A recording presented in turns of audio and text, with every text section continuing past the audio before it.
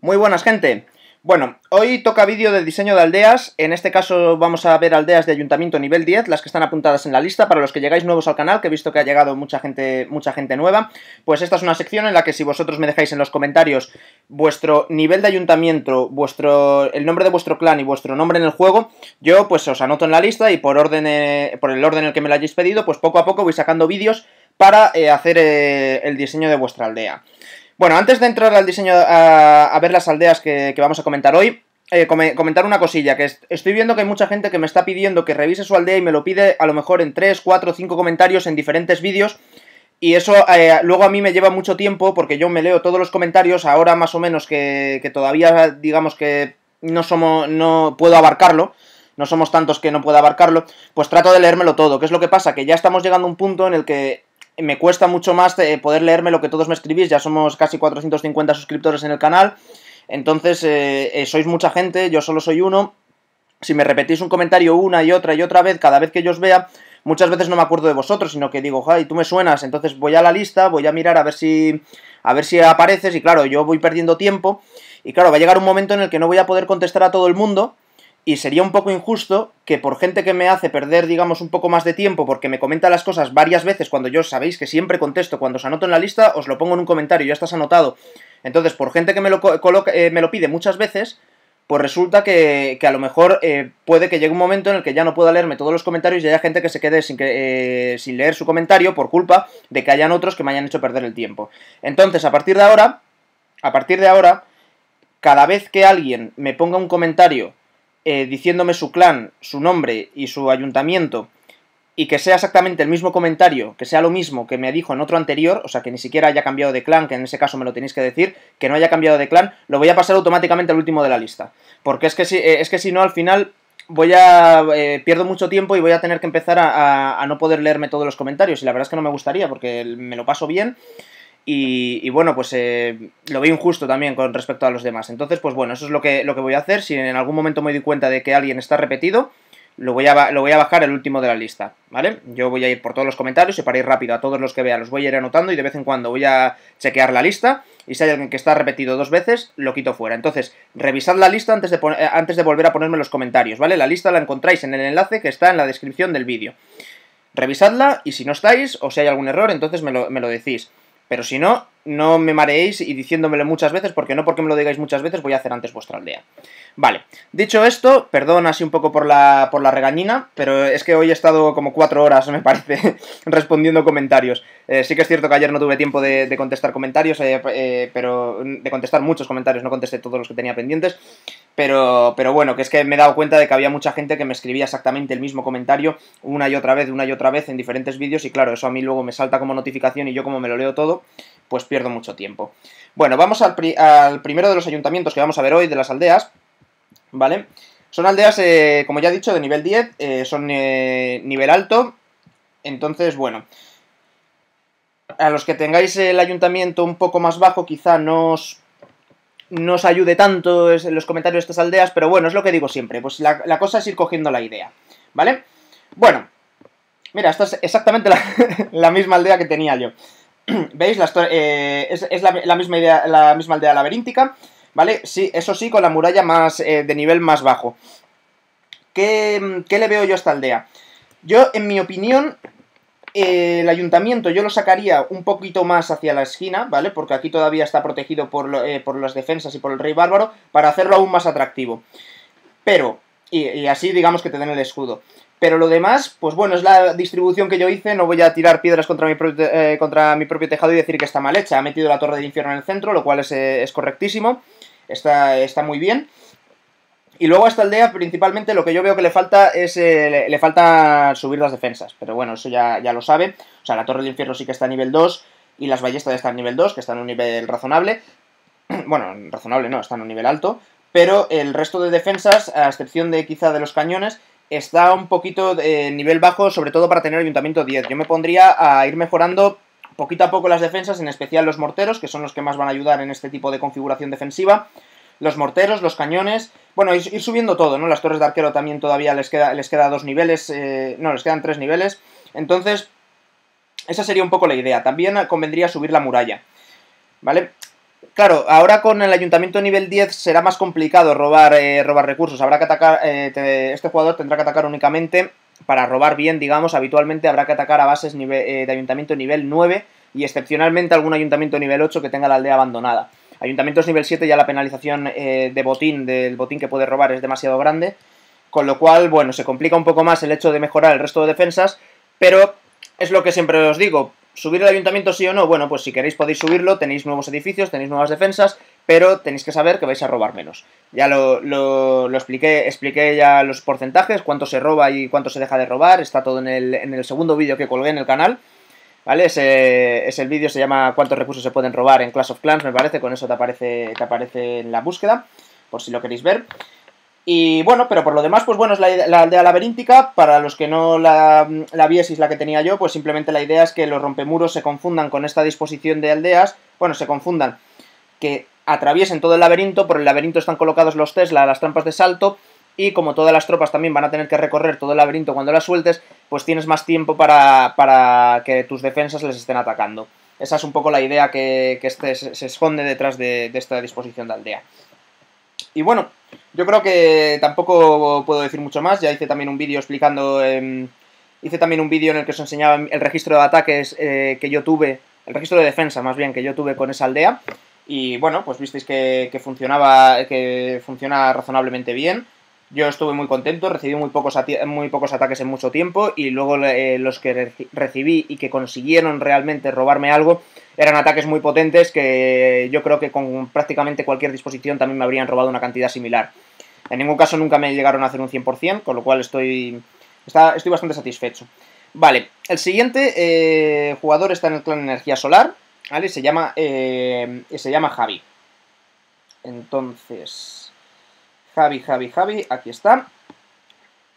Entramos, nivel 72, ayuntamiento nivel 10. Aquí estamos. Vale.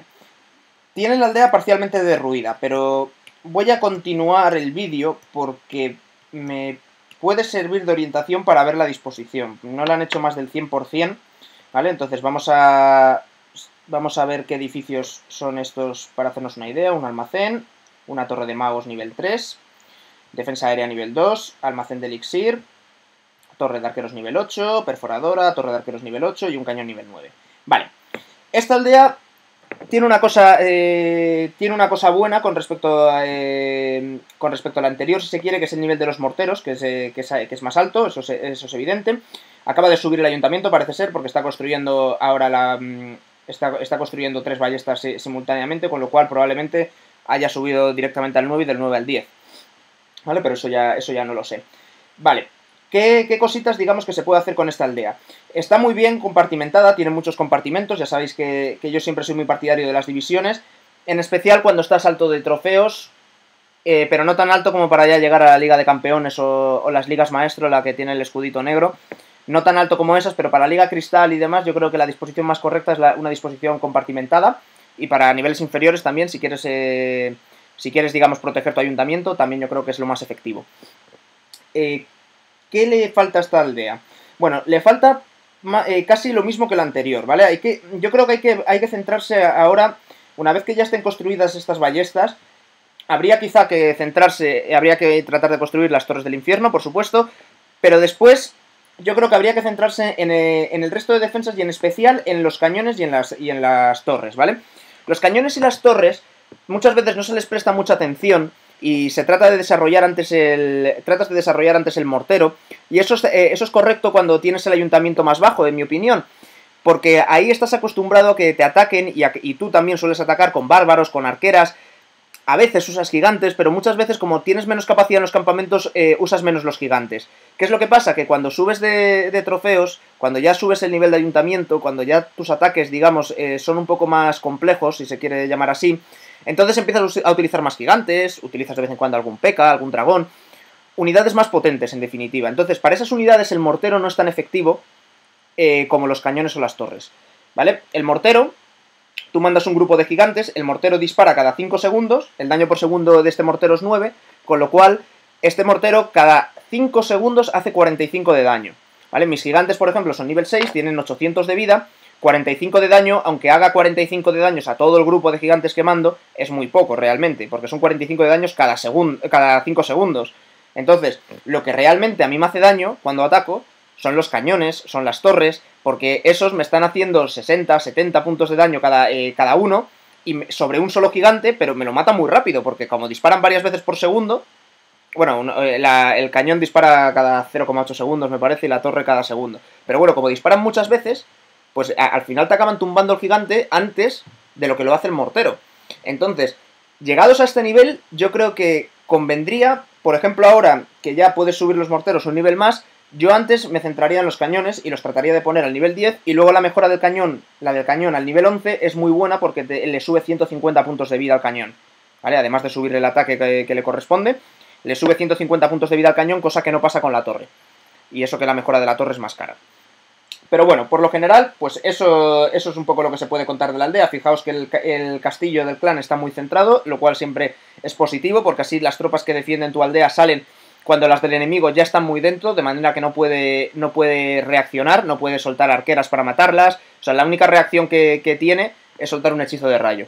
Entonces, pues bueno, ya le estás forzando a, a que suelte un hechizo o que a lo mejor no lleva hechizos de rayo.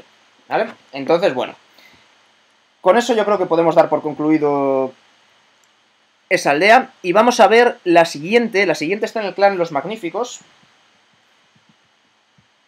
Uy, no he puesto el espacio, ¿no? Magníficos. Los Magníficos. Jolín, hay un montón, hay un montón de, de clanes. A ver si me ha dado algún... algún detalle, ¿no? Bueno, como es ayuntamiento nivel 10, asumo que debe estar en el clan que tenga más miembros. Pero claro, esto nunca se sabe. Los magníficos, el jugador se llama Fabián. El jugador se llama Fabián. Fabián, ¿por qué me haces esto, tío? No me dices en qué clan estás. Vale. No está en ese. Ah, estará en este. Que a veces yo no lo he visto que tiene más trofeos. Fabián. O sea, a veces yo soy un poco lelo. Eso también lo reconozco. Bueno, vamos a ver la aldea de Fabián. Aquí tenemos ayuntamiento nivel 10. Muy bien. A ver, que, me fije yo. Es una aldea muy cuadrada. Que sí que tiene. Sí que ha tratado de hacer bastantes divisiones. Ya con esto. Con estos niveles de, ayuntamiento, el ayuntamiento nivel, eh, nivel 10 tiene muchísimos edificios. Creo que tiene 80 edificios. Para hacer un 50%. Tienes que pensar en, en romperle 40 edificios. 40 edificios es una barbaridad. Entonces, lo que os decía en algunos vídeos de tratar, eh, que podéis tratar de ingeniárosla para hacer una aldea que no sea cuadriculada, que no sea... Eh, es válido, pero cuando ya llegas al ayuntamiento nivel 10, incluso con ayuntamiento nivel 9, puedes, eh, no, puedes hacerte aldeas cuadradas. Si os fijáis las aldeas de los jugadores top, muchas de ellas son muy cuadradas, porque es que ya llega un momento que tienes tal cantidad de edificios, tienes tantísimas cosas que meter, que tienes muy poco espacio para poder hacer inventos, ¿vale? Luego, Torres del Infierno al centro, que es lo habitual, están los recursos también centrados. Lo que no entiendo muy bien es por qué el ayuntamiento está, mm, está, está tan centrado y no, y no está fuera. Aunque claro, es que tampoco con este, con este nivel de ayuntamiento tampoco interesa mucho perder muchos trofeos porque es que si, es que si no luego se, se hará, digo yo, vamos, será realmente complicado encontrar gente que tenga recursos para poder robarle. Luego, más cosas que se pueden decir del, ayuntamiento. Bueno, eh, podéis fijaros, a ver si lo, si lo, tiene este jugador, que no os lo he dicho con los anteriores. En la última parada del servidor, que hicieron una pausa por mantenimiento, añadieron eh, una, mina, eh, una mina y un recolector de elixir extra adicionales al ayuntamiento nivel 10. Que son este, de aquí que está construyendo y este de aquí. Porque si contáis, hay exactamente 1, 2, 3, 4, 5 y este, perdón, 6 y este sería el séptimo. ¿vale? El, adicional que les han puesto. Bueno, bueno. Recursos al centro. Aquí están las dos torres del infierno. Intuyo que ahí habrá trampas o Teslas. Lo ideal sería tener Tesla. Yo ya digo que sacaría el ayuntamiento fuera y metería ahí otro almacén. Por lo demás está bien protegido, ¿vale? Los morteros lo cubren. Quizá el flanco más desprotegido sea precisamente el que no tiene mortero, que un poco con la torre del infierno eh, se puede cubrir, pero pero bueno, a lo mejor no, estaría de más desplazar otro mago para tener dos magos por, eh, esa zona y tener dos, unidades de salpicadura que, defiendan ese lado. Pero bueno, por lo, eh, por lo general está bien.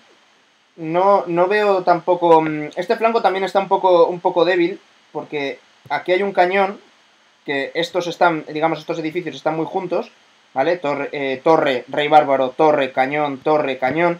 Pero luego aquí hay muchísimos edificios, por ejemplo, estos cuatro seguidos que no, que no disparan. Bueno, la reina arquera sí, pero digamos que aquí no hay defensas, ¿no? Hasta que llegas aquí a esta torre, ya sí que entras cañón.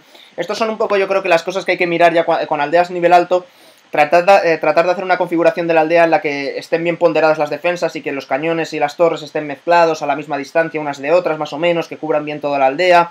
Lo mismo con los magos, que si os fijáis los magos están, están bastante bien, igual que los morteros, ¿no? Están formando todos como una unidad una unidad simétrica, igual que, los antiaéreos. Este sí que eh, está desplazado para dar eh, entrada al, almacén.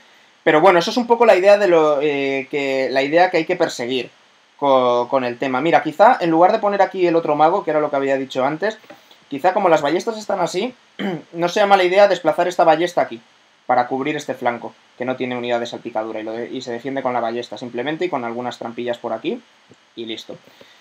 Lo que no sé es, aquí habrá un Tesla, supongo, aquí habrá otro, aquí a lo mejor hay otro, y el otro debe estar aquí, porque es que aquí solo entra uno. Pero bueno, eso yo creo que ya es un poco lo de menos. Pero bueno, por lo general, pues eh, eso es básicamente lo que, lo que se me ocurre sobre esta aldea. Ya jugadores que tienen ya el ayuntamiento nivel 10 habitualmente saben perfectamente cómo construirse una aldea, no, no es necesario. Yo desde mi punto de vista, pues eh, sí, los flancos que veo más débil, este, porque le falta quizá el fuego de mortero, también se puede intercambiar el mortero por, por este antiaéreo y este por este, y así quedan un poco formando un triángulo. Eh, pero, pero poco más, realmente. Luego yo sí que trataría de corregir este flanco, sobre todo desde aquí, que aquí sí que está, digamos, sobreprotegido y aquí está infraprotegido, igual que, igual que por aquí un poco. Pero, pero ya, el resto está, está bien, está perfecto. Lo único, pues darle una vuelta al tema de si quieres sacar el ayuntamiento fuera para que te dejen escudo y te dejen en paz. Porque es que el problema es que como alguien, alguien eh, se ponga un poco loco y sea un ayuntamiento nivel 8, utilice un peca con hechizos de furia y llegue hasta el centro y te robe, se va a llevar, se va a llevar eh, pues simplemente si en los almacenes ya tienes más de un millón de cada, se va a llevar 300.000, si te lo rompe todos. Si además tienes algo más, eh, tienes algo en las minas porque estabas durmiendo llevas mucho tiempo sin conectarte, entonces ya se va a llevar una barbaridad de dinero. Eso es un poco lo que, lo que hay que evaluar y por lo que yo digo siempre de sacar el ayuntamiento fuera. Pero bueno, esto ya son consideraciones de cada uno. Y quizá también a la aldea lo que le falla es el castillo que está demasiado ladeado para, eh, para mi gusto. Yo lo trataría de centrar, aunque sea a costa de algún almacén o de alguna defensa. Alguna estructura defensiva pues se lleva un poco más al lateral y si es necesario se saca una mina fuera de la muralla. Pero bueno, esas son, digamos, mis aportaciones. Y hasta aquí llega el vídeo de diseño de aldeas de, hoy. Hemos visto ya creo que todas las aldeas de ayuntamiento nivel 10 que, tengo, así que los siguientes vídeos de diseño de aldeas empezaré por los ayuntamientos más pequeños y de ahí iré subiendo, ayuntamiento pues 5, 6, 7, 8, creo que 9 queda alguno y luego otra vez volver a empezar, 7 y 8 son de los que más hay, así que en eso me iré centrando. Cuando lleguemos ya a la, a la cifra de mil suscriptores, YouTube me habilitará las reproducciones en directo, en, streaming, y entonces será mucho más cómodo porque un fin de semana pues quedaremos a, a, una determinada hora y así todos los que estéis conectados pues en ese momento me ventilo la lista, ¿vale?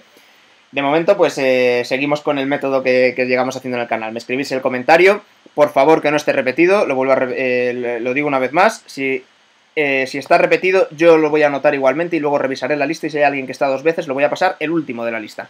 ¿Vale? Ahora mismo en la lista hay anotados 141 eh, ayuntamientos que tengo que revisar, habré hecho unas 40 aldeas, con lo cual hay 100 personas que están pendientes. Entonces, bueno, poco a poco y, ya iréis saliendo todos, no os preocupéis y que luego ya cuando tenga habilitada ya en el futuro las reproducciones en, directo en streaming, pues ya todo irá mucho más rápido. Así que bueno, esto es todo por ahora. Eh, muchas gracias por seguir ahí y recordad que los ataques hay que hacerlos sin prisioneros.